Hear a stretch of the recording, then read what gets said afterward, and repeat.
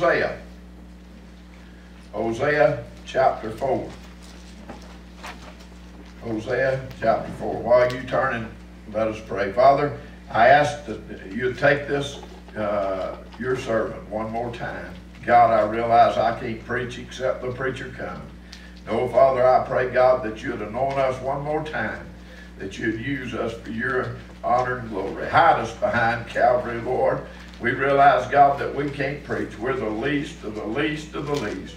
But God, I ask this morning that you would anoint us. In our weakness, Father, may your strength be made perfect. God, in our ignorance, Lord, may your wisdom shine.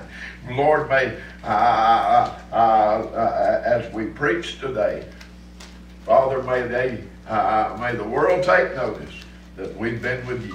And we'll thank you for that, and we'll praise you. For it's in Jesus' name we ask. Amen. All right. Hosea chapter 4, would you stand with us in reverence to the reading of the infallible Word of God? Hear the word of the Lord, ye children of Israel. For the Lord hath a controversy with the inhabitants of the land, because there is no truth, no mercy, nor knowledge of God in the land. By swearing and lying and killing and stealing and committing adultery, they break out, and blood toucheth blood. Therefore shall the land mourn, and every one that dwelleth therein shall languish with the beasts of the field and with the fowls of heaven. Yea, the fishes of the sea also shall be taken away. Yet let no man strive nor reprove another, for thy people are, are as they that strive with the priest. Therefore shalt thou fall in the day, and the prophet also shall fall with thee in the night, and I will destroy thy mother. You may be seated. A simple thought this morning a nation headed for judgment.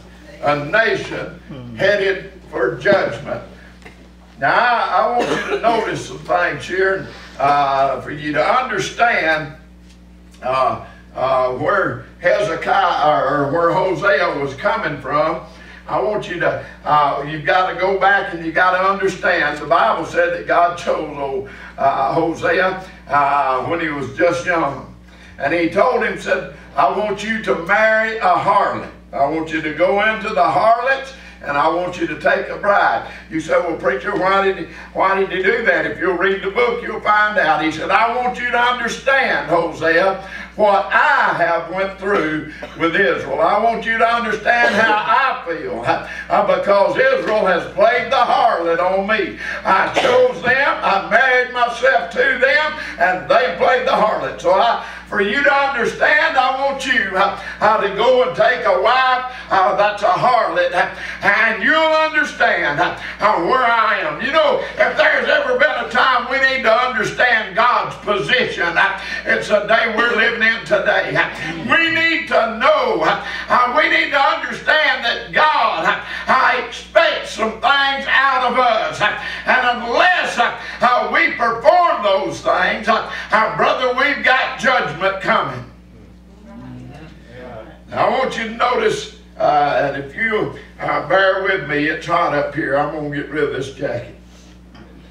I want you to notice uh, some things that he said. He said, number one, there is no truth, mercy, or knowledge of God in the land. Susan was talking about this morning uh, in Sunday school how that they had killed those 14 uh, kids and uh, or children or uh, young people, uh, Christians, how they burn them because they were Christians. We're living in a terrible time. What she didn't say is the whole time they were burning them, they were pleading for our country just to bomb them so they wouldn't have to go through the mercy, uh, the misery that they're going through, just to give them mercy. Pleading for America uh, to intercede. There was a time when America stood strong America uh, was considered a Christian nation, a nation under God, a nation that stood for something. But today, our nation uh, uh, as a whole don't stand for nothing. We've turned around and listen, it's easy to blame Obama and it's easy to blame those that are in office, but we need to put the blame right where it comes today. How the root of the matter is found in me. How, brother, we as Christians have sat back and kept our mouths shut.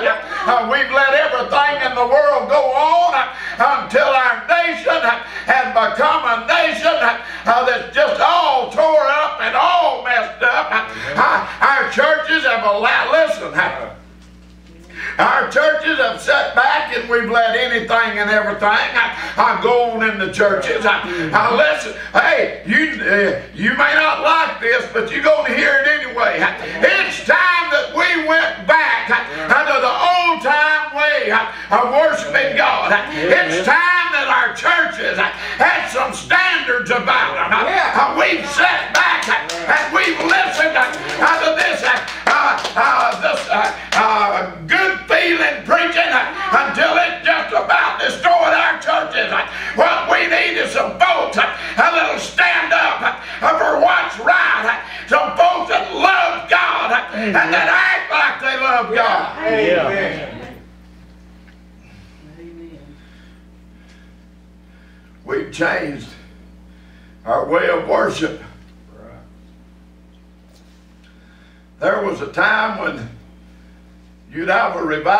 couldn't get them in the house of God. You know why? Because folks wanted revival. They wanted to hear a man of God that stand up and preach the truth. They wanted a gospel that would blister. Now they want a gospel that'll comfort. Don't preach anything to us, preacher, that's going to hurt us. Don't uh, don't preach a, a message that's going to uh, show us where we're living. I just preach us something real smooth. Uh, let us get out of here by 12 o'clock uh, so we can go uh, meet the kids at Cracker Barrel, have dinner, and come back and go through another ritual, through just another meeting. Hey, folks, we need to go to meeting. We need to come in the house of God ready to meet. Amen. Don't tell me I need to dress up to go to church. Come on. I believe we ought to give God the very best we got. If all we got to pair overalls and a white shirt, that's all right. But we need to we need to give God the very best we got in our dress, in our walk, in our talk. We ought to act like Christians. Amen. And get up here with them voodoo hair deals and Lord have mercy, I ain't never seen such a mess in my life. People call themselves men of God, stand up here with their spiked hairdos and a pair of blue jeans and a t-shirt. Some of them even wearing short pants in the house of God. Let me tell you something. These women wearing dresses I say, high uh, that shows everything they got and so low it shows there. Let me tell you something. God bless your heart. We ought to dress like Christians. We ought to act like Christians. We ought to talk like Christians. Christians. And God won't accept nothing less than that. Amen. Our nation's headed to judgment yeah. unless some changes take place. Right. Oh, preacher, don't pre. Hey, hey, preacher, uh, don't preach that. preacher, we want to, we want, we want you to preach that feel good stuff. Let me tell you something. The Bible said that the Word of God is quick. It's powerful. It's sharper than a two-edged sword that it cut us under the to the cut to the bone, cut us under to the divide of the soul and the spirit. The Word of God will cut you, brother. It will put you, it will show you where you are living and where you need to be living. And if we're preaching that, uh, brother, our churches, uh, they'll get on fire. If we're not, they're just going to lull themselves to sleep on the benches, uh, and our kids uh, and our grandkids are going to die and go to hell. I'm here to tell you if anything reaches them, it won't be a party in the parking lot. It won't be a, a, glass of Kool-Aid. It won't be a up here on stage beating uh, drums and uh, having some kind of music uh, uh, show. It'll be the preached word of God. And if that don't reach them, they won't be reached. Amen. Amen.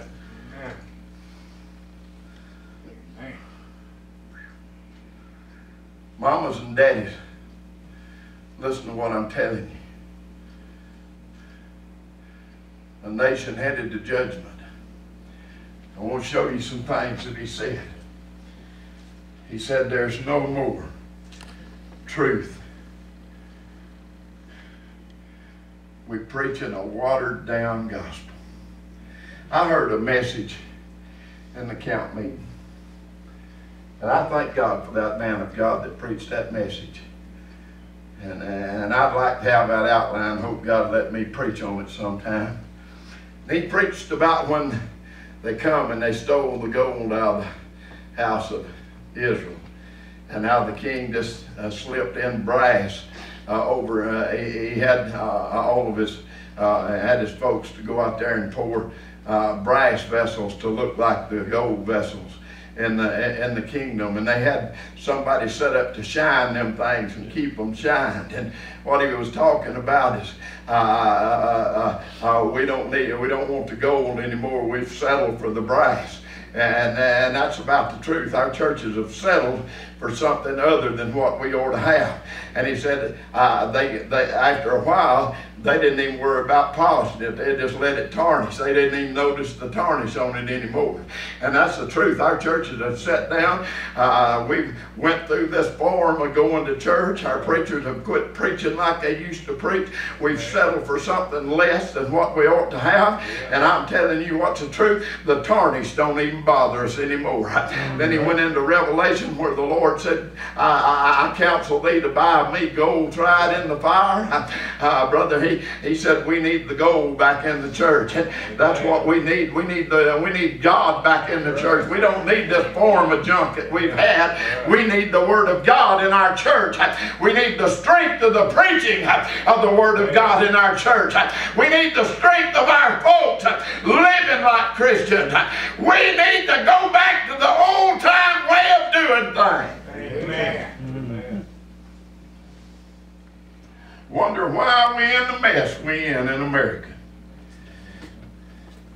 He said they ain't even no knowledge of God in the land anymore. Okay?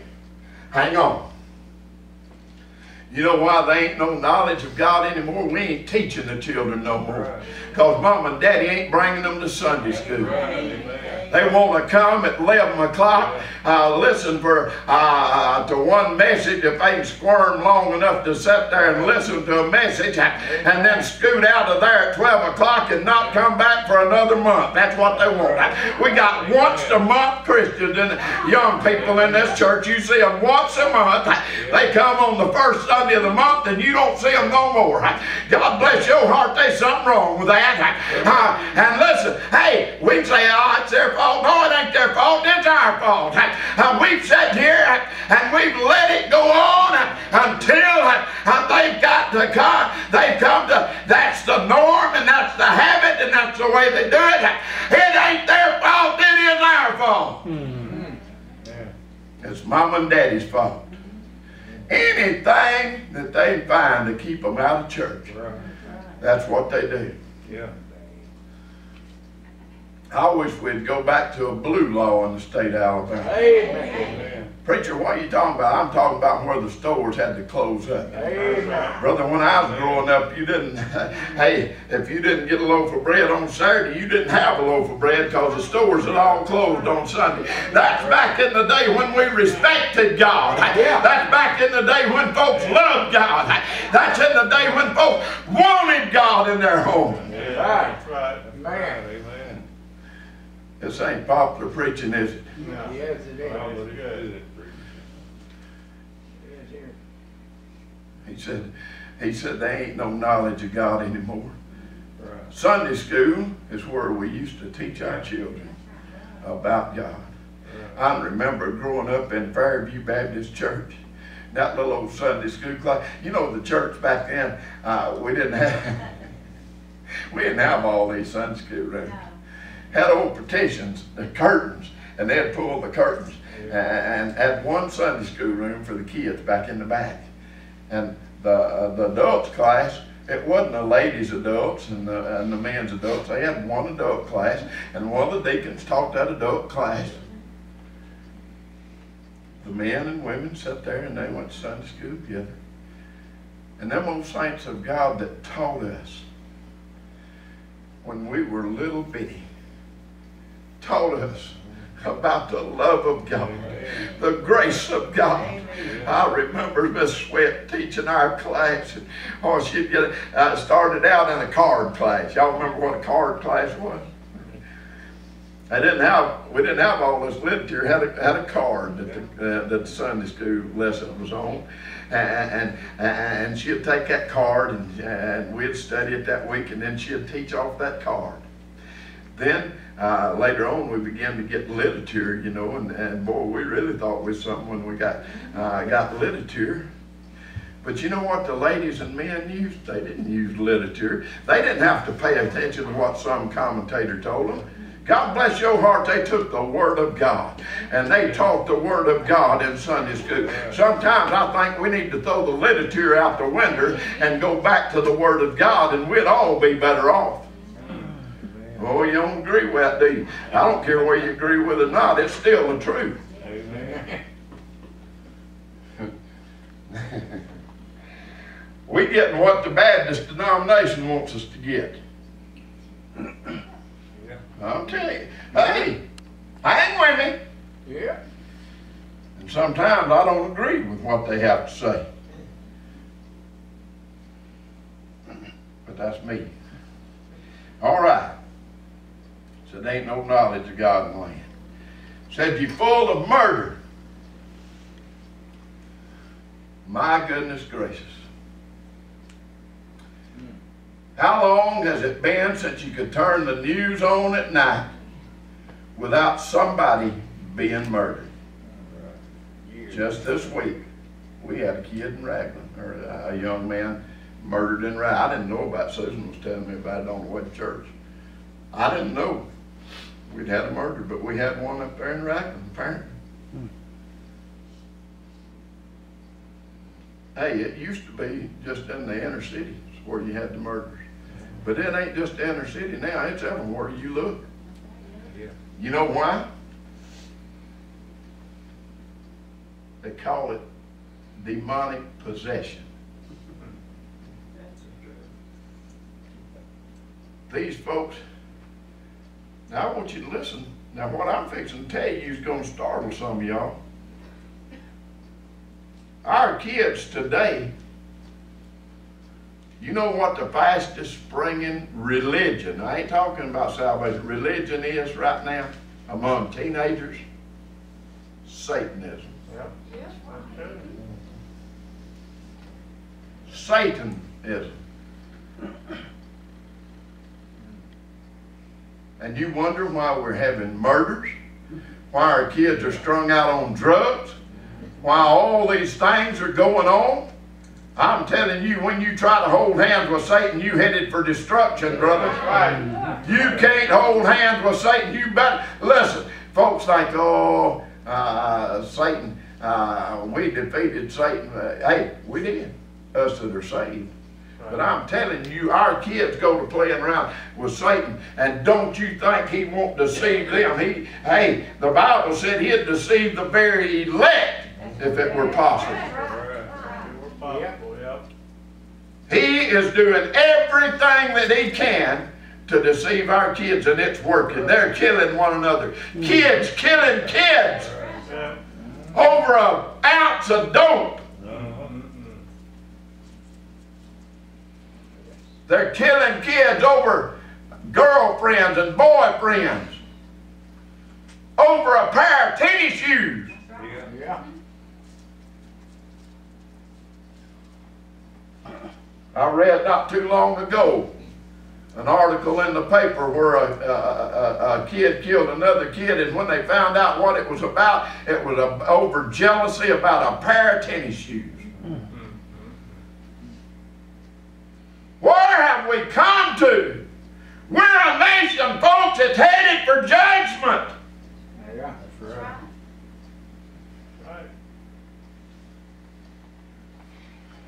I gotta hurry them. He said they're murderers and they're thieves.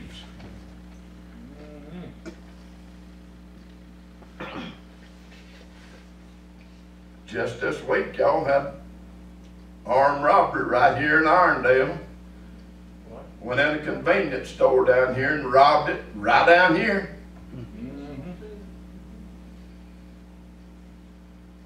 Gee, Our ladies can't even walk from uh, the parking lot into Walmart without having to worry about some thug coming along and jerking their purses out of their hand and running off with them.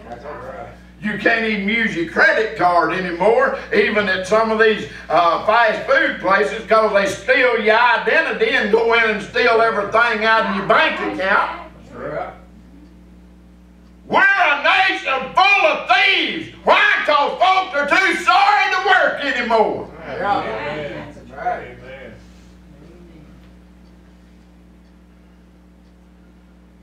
Oh, let me just sit back and draw my welfare check.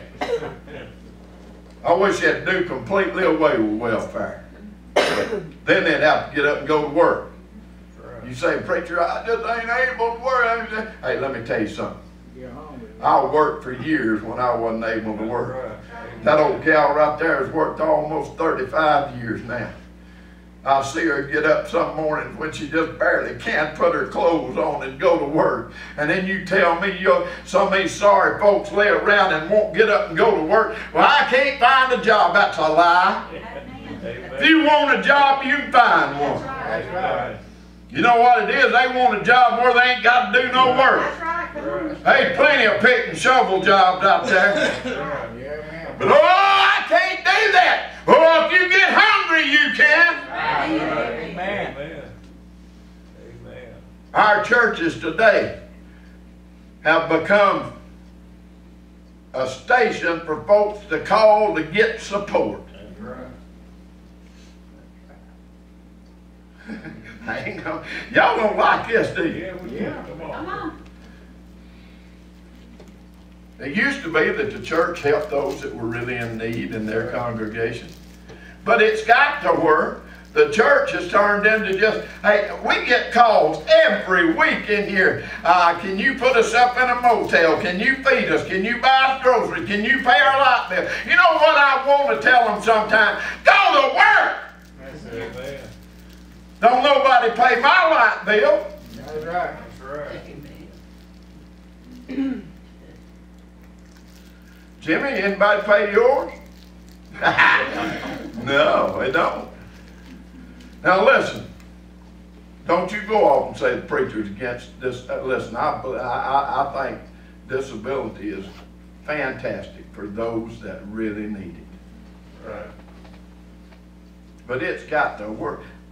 Man, I was sitting at Walmart the other day, and this little old gal come in. She couldn't have been over 30 years old. Pulled in that disability parking lot, uh, parking thing. Got out, run to the store, run back in, got back in the car. And I thought, my Lord of mercy, there's another, probably on dope, getting disability because she's a dope addict. Right.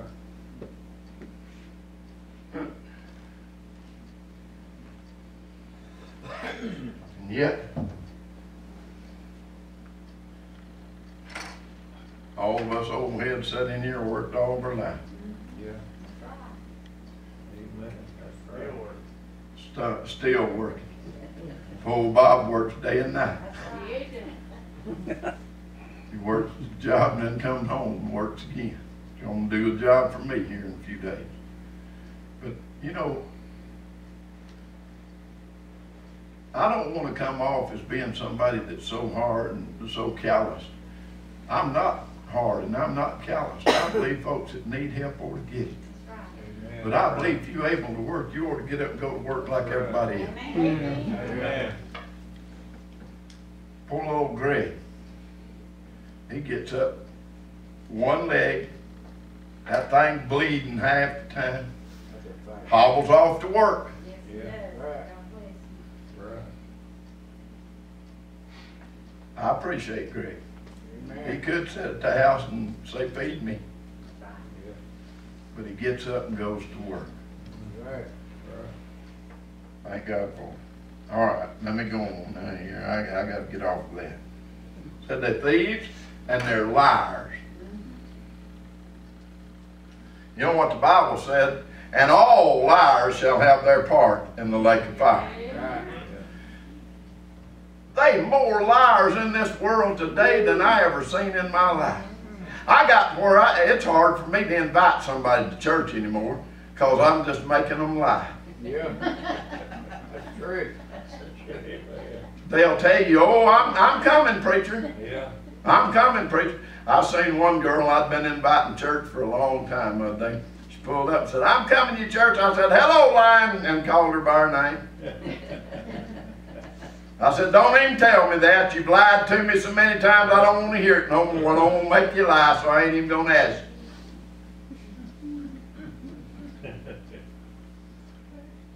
True. Folks will, t- hey, what, what Daddy used to say, they climb a tree to tell you a lie before they stand on the ground tell you the truth. They'll work hard just to be able to lie to you. Yeah. And we expect God to bless us. And I'm telling you some, may folk call themselves Christians and lie to you. Yeah. Right. Asked them, why wasn't you here Sunday? Oh, I was sick. Knowing all the time that's a lie. You wasn't sick. You just didn't want to come. Why didn't you say I just didn't want to come? Yeah. You're right. Mm. Just tell it like it is.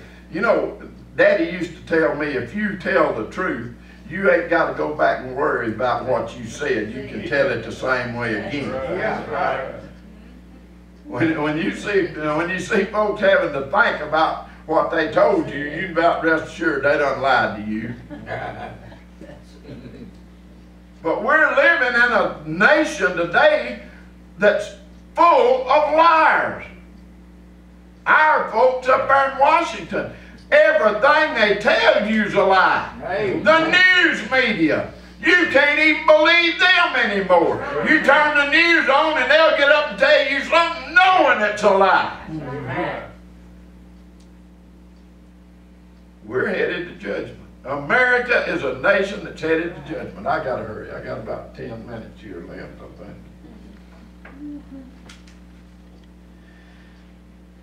Now, our sins have separated us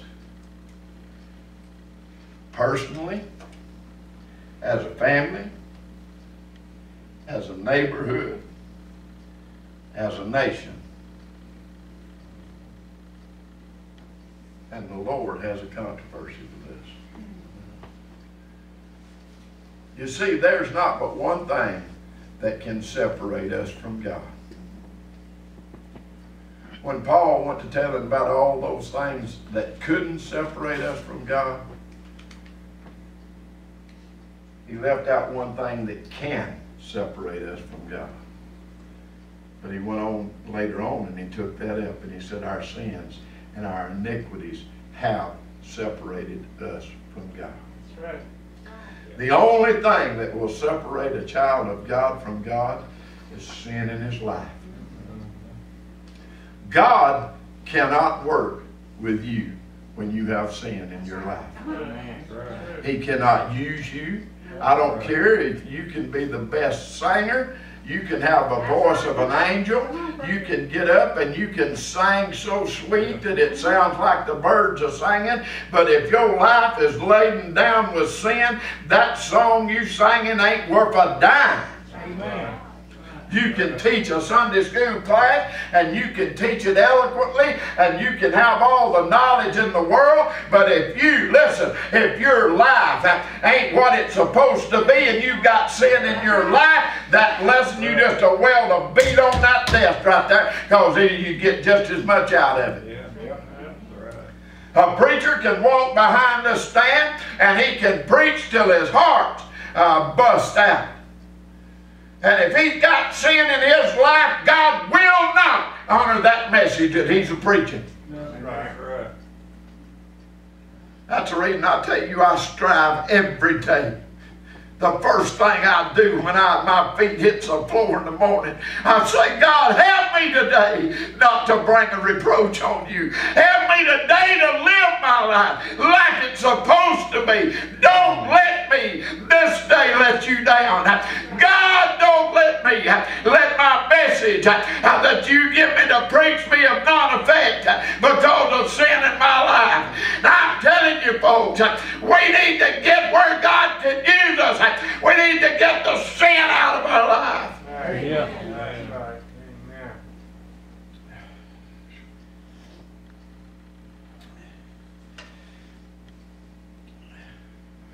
We have no humility about us anymore.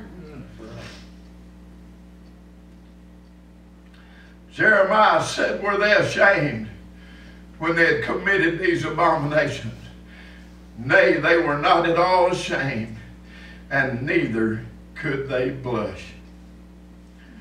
You know it used to be? Now, now listen to what I'm telling you.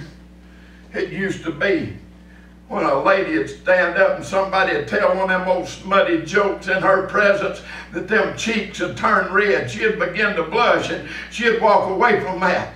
Now these ladies have got filthier mouths than the men have. Yeah. They sit up and they tell these filthy, nasty jokes and laugh about it. Uh, they uh, get on television, watch these filthy, nasty shows. I, I'm telling you, they ain't nothing makes us blush anymore. We need a blush about us. We need some humility in our lives. Amen. We need to walk humbly before God. Yeah. Oh, that we'd be humble. That we'd be what God could use. Oh, that our church would have some humility about it. Listen,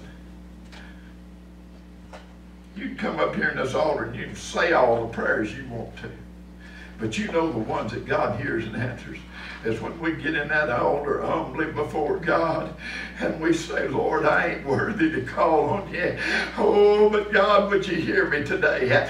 Brother, when you get humble in the sight of God, look out, He's fixing to rock your world for you. I'm telling you, He'll bless you if you'll just get humble, if you'll just get submissive to His will, if you'll just get where uh, God can use you. Oh, I'm telling you, you ain't never seen, hey, what was it? that The great evangelist L. Moody said, the world is yet to see uh, what one man totally committed to God could do.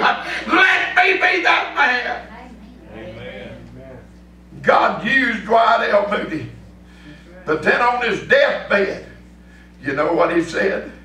The world has yet to see what one man totally devoted to God could be. See, Dwight L. Moody knew that even though he had done his best to totally devote to God, he knew that he had failed in areas in his life. Every one of us are going to fail. We're going to have shortcomings in our life. But oh, that we'd just get humble before God. We'd say, God, when I fail you, Lord, don't let me lay there and roll, roll around in it. Help me to get up, dust myself off, come back to you, repent of my sins, and go in a different direction. Oh, God, help me uh, to be humble in your sight.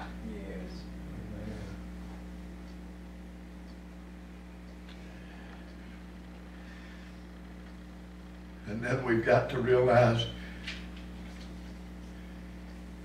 that our salvation comes only through our Lord and Savior Jesus Christ. There's nothing that we can do to grant us mercy and salvation. It only comes through mercy and grace, that unmerited, undeserved favor of God. Oh, that we would just accept the grace and the mercies of God in our day. Oh, that salvation would be, we would look at salvation and understand that only through the blood of Jesus Christ can we be saved. Listen, folk, there is no other way. I can stand here and I can preach all day to you. But the fact of the matter is that only through the shed blood of our Lord and Savior Jesus Christ can you be saved. I believe we ought to strive every day to be everything we can be to God. But grace, uh, but salvation comes by grace. And we've got to understand that if our children are saved, if our acquaintances are saved, if our nation is healed, if our nation is saved, it'll be through the grace and mercies of God. And we need to pray every day for grace and mercy that God would grant our children, would grant our, our community, would grant our nation mercy that we don't deserve. Because if we got what we deserved, we'd all be in hell today. But thanks be to God. I like what Paul said. Thanks be to God who giveth us the victory Amen. through his darling son. I hope this message has been a blessing to you. Father, thank you for just allowing us to come and preach the message you laid on our heart one more time today. Father, we're so undeserving. Our nation's in so much trouble. We need you so bad today, Lord. Father, we need you worse than we ever have in America today. Our children need you, Lord. Oh, God, our neighbors need you. Our, our, our, our, our leaders and our uh, in the state and in the uh, uh, in the uh, uh, White House and even in our little city governments and county governments. Oh God, they need your leadership today. Father, would you help them to seek you? You said, Seek ye first the kingdom of God and his righteousness, then all these other things will be added unto you. Help us, God, to seek you today, and we'll thank you, and we'll praise you, we'll give you the glory. For it's in Jesus' blessed name we ask. Amen.